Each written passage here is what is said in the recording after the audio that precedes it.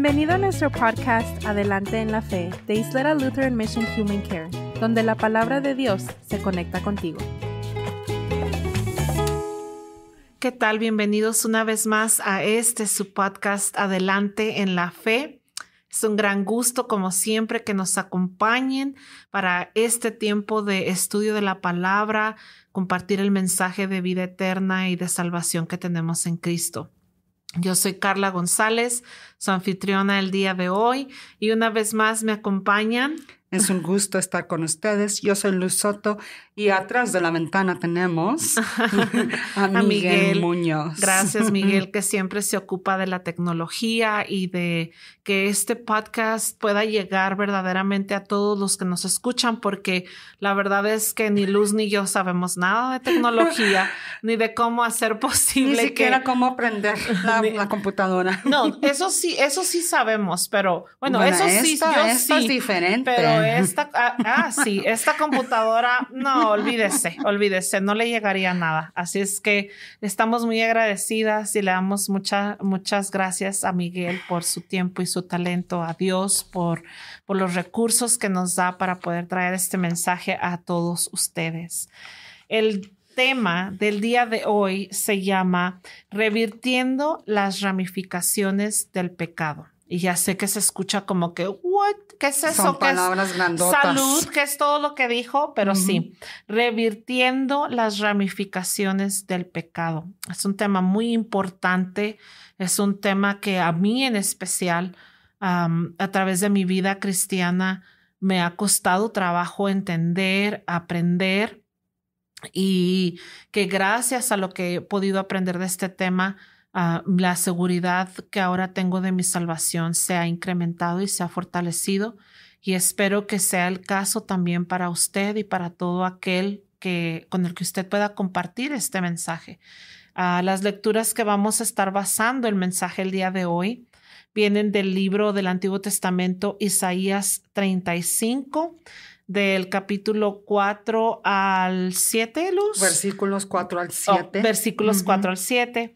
Y también vamos a compartir una historia con usted del Evangelio de Marco, capítulo 7, versículos 31 al 37. Y pues como todo buen podcast, ¿qué tal si empezamos con una palabra de oración?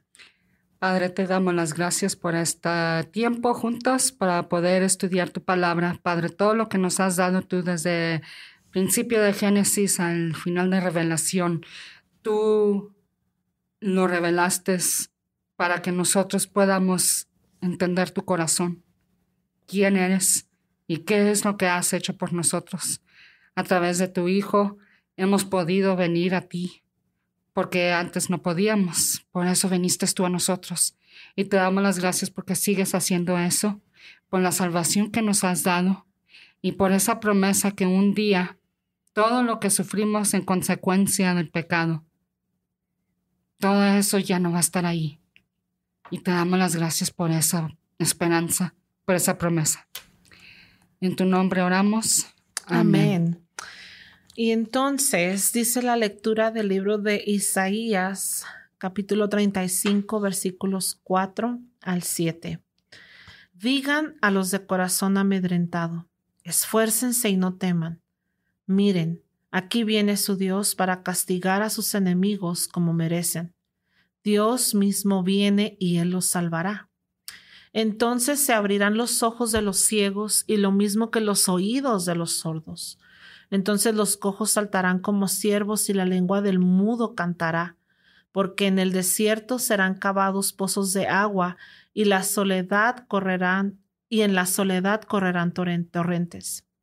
El páramo se convertirá en estanque, en el sequedal de los manantiales de agua, y en la guarida de los chacales crecerán cañas y juncos. Allí habrá un camino empedrado, que será llamado camino de santidad no pasará por allí nada impuro, porque Dios mismo estará con ellos. Si alguien pasa por este camino, no se extraviará, por más que tropiece. En ese camino no habrá leones, ni pasará por él ninguna fiera, para que los redimidos puedan transitarlo. Y los redimidos del Señor volverán, vendrá nación entre gritos de de infinita alegría, y cada uno de ellos tendrá gozo y alegría, y desaparecerán el llanto y la tristeza. Me extendí hasta el versículo 10, Luz, porque es muy importante que veamos en esta lectura cómo hay dos profecías. Está profetizada la venida, la primera venida de Jesús, y Jesús sanando y haciendo milagros, trayendo la salvación. Pero luego está profetizada la segunda venida de Jesús, en donde el llanto y la tristeza ya no serán más y desaparecerán. Por eso me extendí hasta el versículo 10. Se me hace, a mí me encanta el libro de Isaías. Era un profeta que los fariseos y los judíos nos reconocían como tal. Y Isaías es el que carga más de las profecías del Mesías que cualquier otro profeta en el Antiguo Testamento. Y es algo que allí cuando lees tú Isaías, haz de cuenta que estás leyendo la biografía de Jesús. Sí. Pues este capítulo 53 habla de su crucifixión. Eh, este capítulo, aquí en el capítulo 35, habla de su ministerio de milagros, de sanamiento, y Jesús mismo, él mismo habla sí. de Isaías, les dice a la gente, Isaías habló de mí. Por ejemplo, cuando vienen y le preguntan a Jesús, Juan el Bautista quiere saber si tú eres el que esperábamos o si todavía tenemos que esperar más.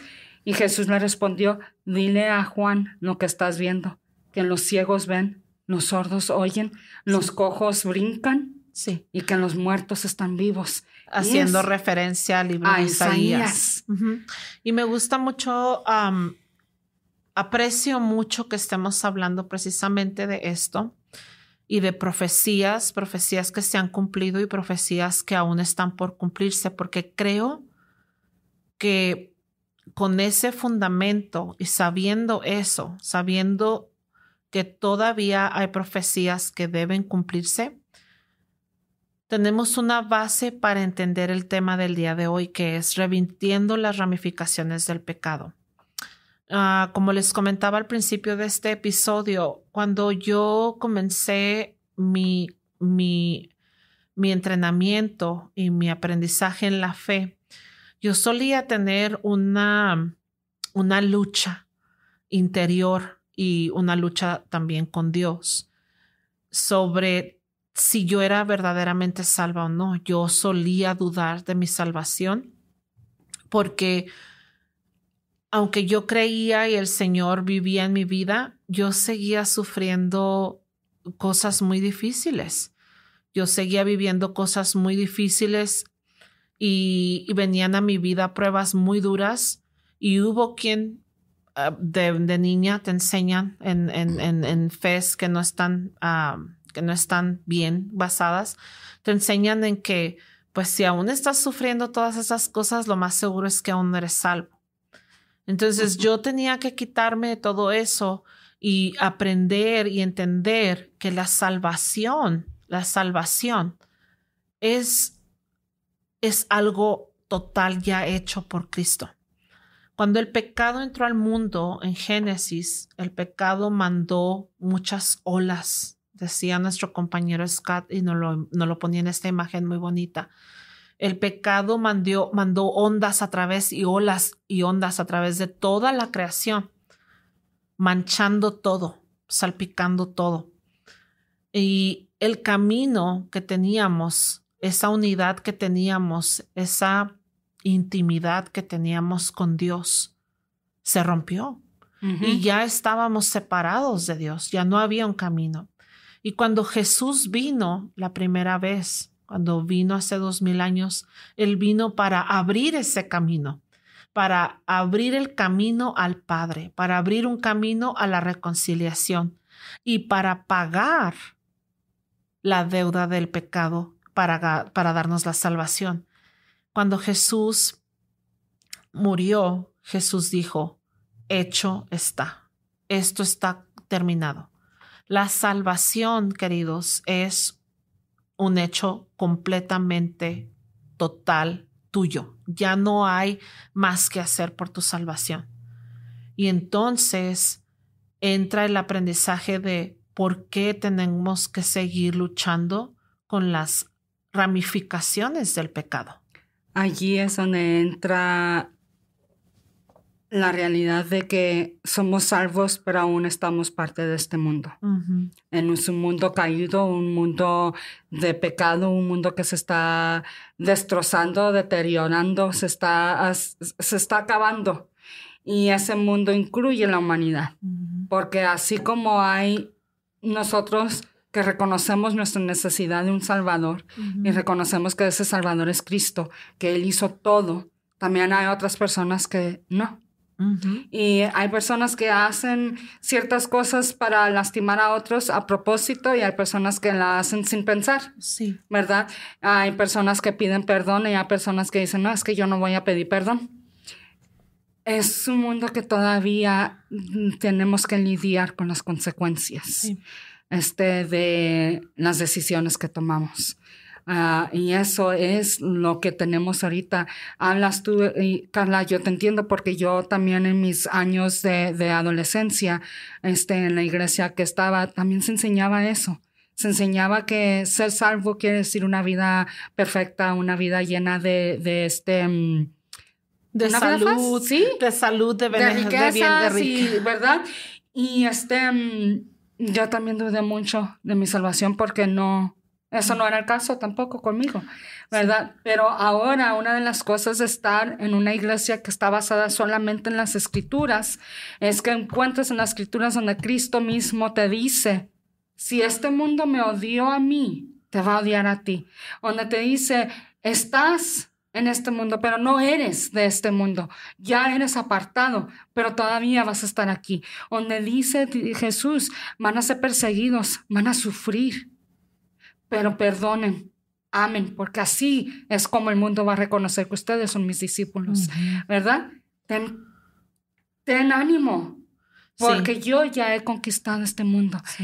Y eso quiere decir que todavía aflicciones y sufrimiento va a estar ahí.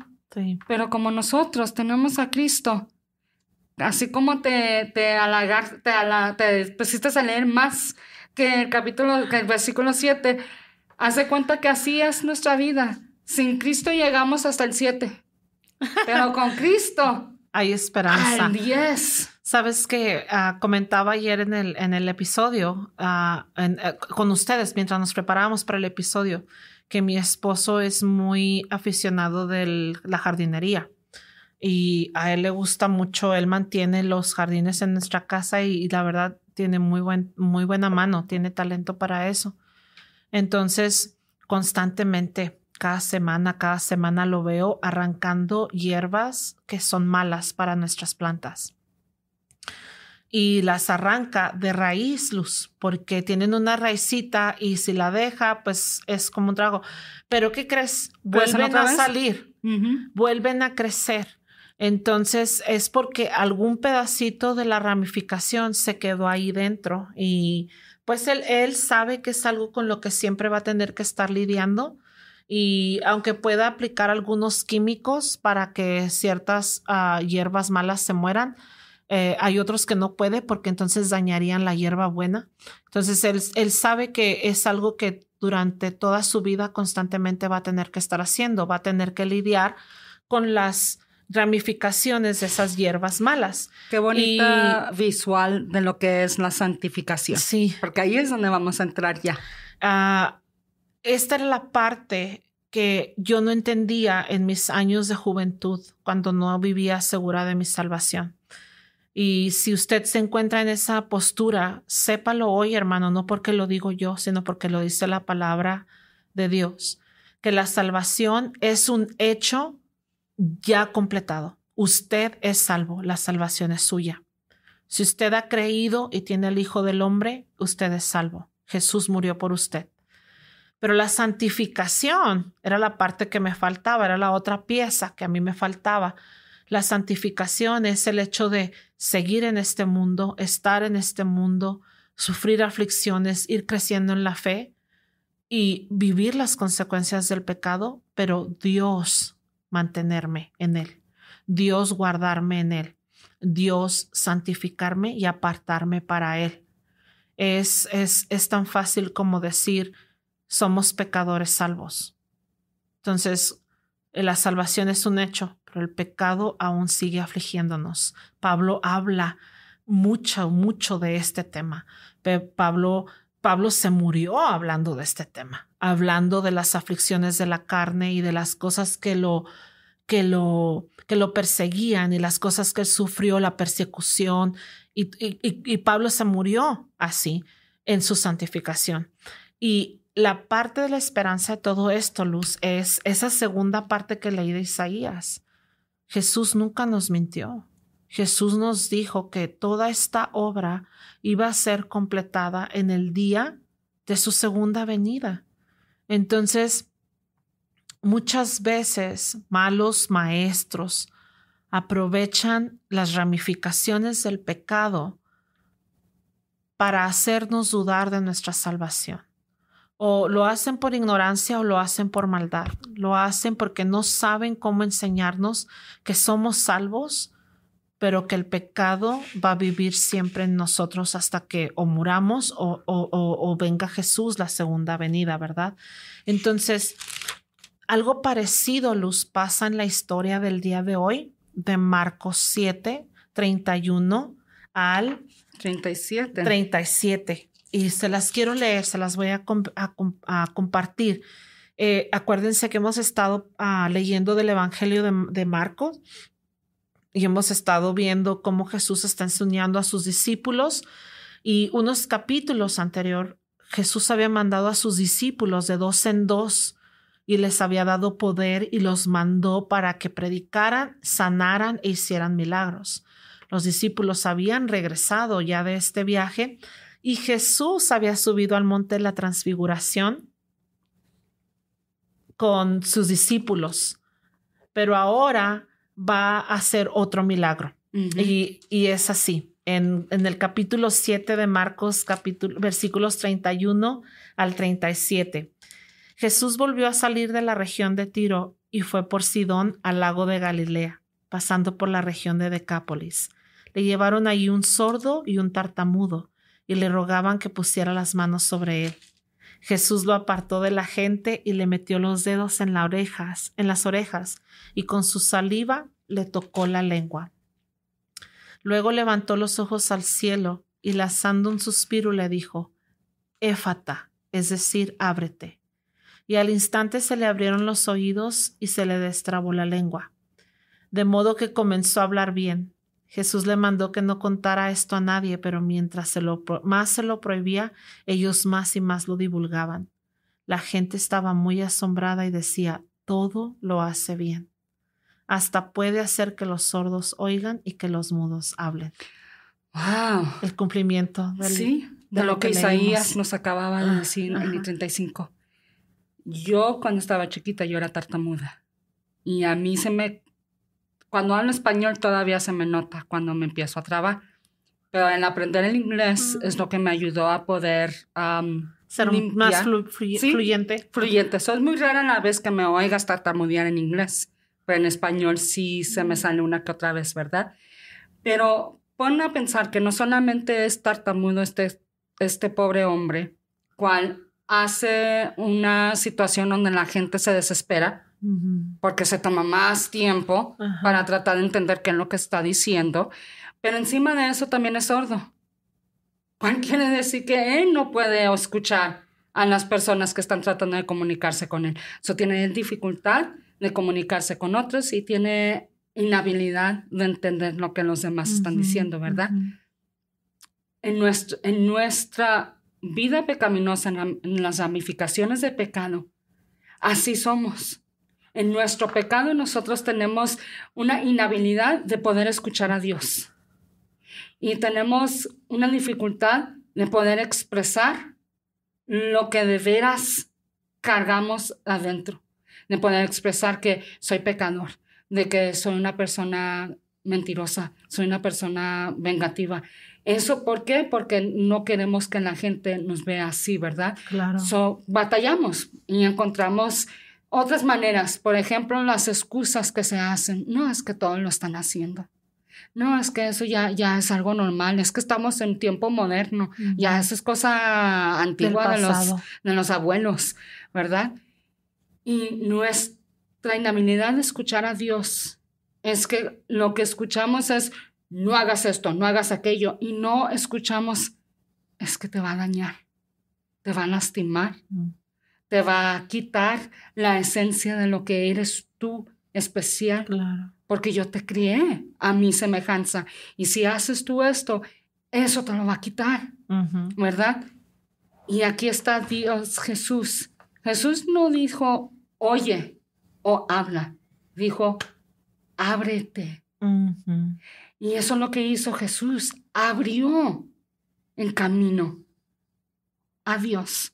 Nos abrió nosotros los oídos para poder entender que cuando Dios nos dice no mates, no robes, no cometas adulterio, nos está diciendo es por tu bien. Es para que vivas una vida llena de paz, de gozo, de amor, de paciencia, porque en eso podemos de veras disfrutar una vida, ¿verdad? Cuando Jesús le dijo a este hombre, ábrete, me encanta que Jesús no era necesario que lo tocara, pero le metió los dedos en los oídos y luego le escupió y le tocó la lengua, ¿verdad?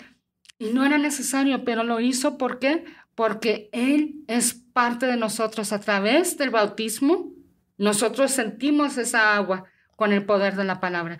A través de la comunión, nosotros sentimos ese pan y sentimos ese vino. Y es lo físico que hace Dios y es lo que hizo Jesús en este milagro, donde dice, físicamente yo estoy contigo. Porque muchas veces pensamos que el mundo de Dios o que el, reino de Dios es solamente espiritual, pero Él sabe que nosotros somos humanos y que necesitamos señales como estas que, que, hagan crecer y madurar la fe. Entonces, me gusta mucho esta historia, Luz, y el poder conectar y, y, y comprender que la salvación es un hecho ya hecho total, pero la santificación, estamos en el proceso de ser santificados, al igual que este hombre, y das un gran, gran, gran ejemplo de cómo es que nacemos con una sordera y con un, con una, mudos. No podemos escuchar las palabras de Dios, no podemos escuchar el Evangelio que salva, pero Dios envió a su Hijo para abrir el camino y abrir nuestros oídos para que recibamos las buenas nuevas y que aún cuando sufrimos las ramificaciones del pecado, del pecado nuestro o del pecado de otros, también podemos a la par escuchar a Dios cuando nos dice, sé fuerte y no temas. Yo estoy contigo. Eh, yo voy a regresar. Yo voy a venir una segunda vez y esto va a ser total, se va a acabar por 100% el pecado y sus ramificaciones. Y tenemos en Jesús todas estas promesas y hemos visto el cumplimiento. Vemos cómo Isaías profetizó y aquí estamos viendo el cumplimiento. Y entonces ahorita estamos esperando el cumplimiento de la segunda profecía y podemos esperar llenos de gozo, llenos de esperanza, porque quien nos prometió cumple y está con nosotros. Entonces es muy importante que sepamos que en este camino de santificación no estamos solos, Dios está con nosotros. Lo más fácil es que ya nos abrió el camino. Este hombre que era tartamudo y sordo, sordo ya no es tartamudo y sordo, pero atínale que está escuchando por primera ah. vez. Ah, y tiene que aprender qué es lo que o ah, que estos sonidos. Tiene que aprender a hablar, ajá. Y ya se le soltó la lengua, pero aún así, él tenía su boca formada en cierta manera de, para comunicarse y ahora tiene que cambiar eso. Ahí es la santificación. Tiene que aprender, tiene que crecer. Ya está abierto, pero tiene que volver a aprender a entender lo que ya puede escuchar y aprender cómo formar palabras correctamente. Sí. Porque tiene que volver a ejercitar la lengua diferente, los labios diferentes. Ahí está la santificación. Nosotros ya tenemos la salvación, pero porque vivimos en un mundo donde todavía se tiene que lidiar con las consecuencias del pecado desde el principio, el primer pecado, hasta el pecado que cometimos esta mañana. Se tiene que lidiar con las consecuencias. Pero cuando lo vemos esas consecuencias a través de la salvación que nos da Jesús, la consecuencia es oportunidad de poder crecer más y más en nuestra fe, de ser más y más como Cristo, de matar un poquito más y más al viejo yo. Exactamente, de poder cargar esa cruz, de poder decir, como dijo Pablo en las cartas de la primera carta de Corintios, ¿sabes qué? En mi debilidad soy fuerte, porque la gracia de Dios es suficiente. Y en nuestra debilidad vamos a pecar. Pero lo más hermoso es que porque tenemos a Cristo, podemos nosotros decir, bueno, tengo que lidiar con las consecuencias. Y saber que Dios está actualmente y activamente trabajando para erradicar las ramificaciones del pecado. Porque va a llegar un no, día. No nos dejó a la deriva. El pecado que te acosa ahorita, si tú, si tú te fijas hace un año, dos años en tu andar con Cristo, tú puedes decir, oh, de verdad, aquello Dios lo conquistó y ya no soy más presa de esto, porque Dios está activamente trabajando en ti para erradicar y revertir las ramificaciones del pecado. Así que espero que puedas tener buen ánimo, gozo, esperanza, sabiendo que el camino es hacia adelante y, y, tienes, tienes a Dios de tu lado trabajando para que las ramificaciones del pecado vayan desapareciendo de tu vida, pero esta obra de santificación va a ser completada en la segunda venida de Cristo. Y tenemos esperanza porque así como dijiste, como la promesa se cumplió del versículo 1 a 7 en Isaías 35, entonces no hay ninguna razón por qué no se va a cumplir la promesa del 8 a 10. Sí, sí, lo demás se va a cumplir. Bueno, pues qué tal que cerramos con oración y es un gran gusto. Espero que compartan este episodio con alguien más, pero vamos a cerrar en este episodio con oración. Queridos hermanos, te damos, te damos las gracias, Padre. Te damos las gracias porque tú abriste un camino, Señor. Porque así como le abriste los oídos físicos a ese hombre, Tú nos has abierto ahora los oídos espirituales y ahora podemos recibir tu palabra, Señor, que es viva y eficaz y que hace aquello para lo que tú la has enviado, que es crear fe, Señor. La fe viene del oír y del oír tu palabra. Yo te pido que bendigas este mensaje y que lo envíes a todo aquel que tú has planeado y que este mensaje avive la fe en cada persona, Señor, y que le, le dé esperanza para esperar tu segunda venida, Señor, ese tiempo en el que vamos a estar por fin reunidos para siempre contigo. Eh, manténnos, bendícenos a todos y manténnos en la fe, Señor, hasta el día de Jesucristo. Amén. Amén. Para seguir aprendiendo sobre la palabra de Dios, Acompáñanos en la Iglesia Luterana San Pablo, ubicada en el 301 South Shoots, El Paso, Texas. O llámanos al 915-858-2588. Y para aprender más sobre nuestros ministerios, visita nuestra página de internet www.ylm.org.